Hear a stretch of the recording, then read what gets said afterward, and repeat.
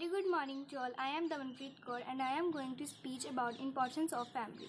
The role of family is not limited to give breath of our spinning.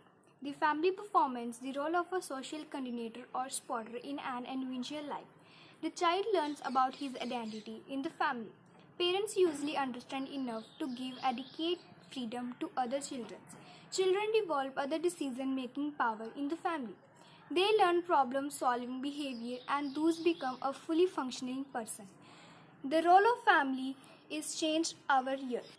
Earlier, family played an essential part in taking care of old adults.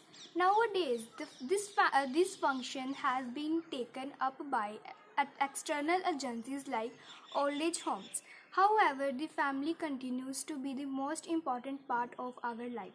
Thanks and happy Family Day.